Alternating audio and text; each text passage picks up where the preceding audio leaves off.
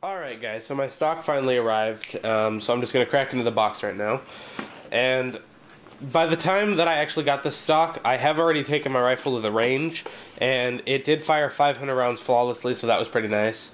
Um, of course, I didn't have the stock, so it didn't quite look how I wanted it to, but it's not like that really mattered for function, so...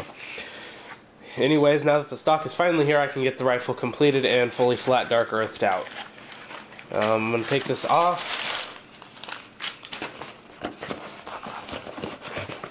And as I thought, the invoice was underneath this box, so we'll just take this box out. So now you can see this is the Magpul CTR stock.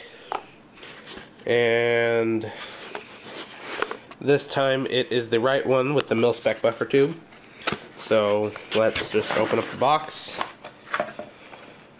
There's a paper that warns you about the mil-spec buffer tube versus the commercial buffer tube. And to make sure that you got the right one, We've got a Magpul sticker.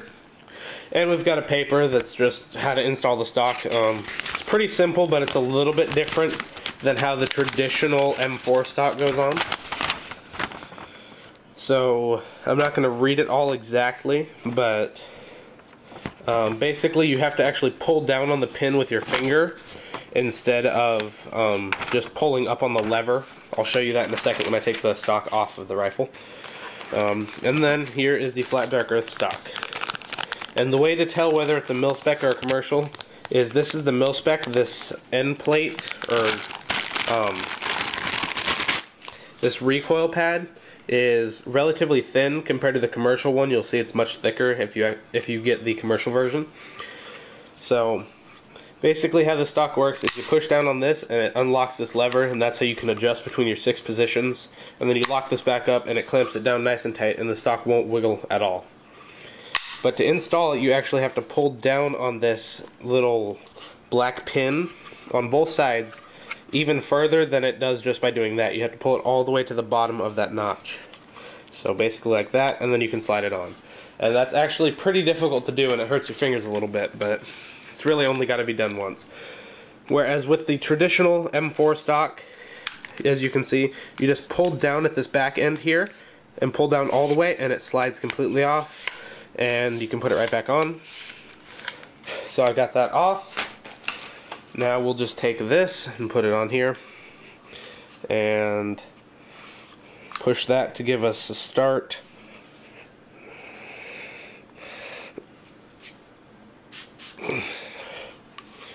And there you go. It's on all the way. And now you can adjust it to whatever length you want it. I'm just gonna run mine all the way back because that's what this rifle's set up for right now. Push this up and that stock does not wiggle at all. So there you go guys. That is the conclusion of my flat dark earth rifle conversion. Um, at this point I've now got every part. And unfortunately I did not get any range footage from when I went out and shot this rifle so maybe that'll happen next time I go to the range. But anyways guys, that's about it for this video. So if you enjoyed it, please be sure to click the like button as that does help me out. Also, leave me a comment about anything that I did well at or anything that I can improve. And if you would like to see more of my videos, then please do click subscribe. Thank you for watching, and I'll see you guys later.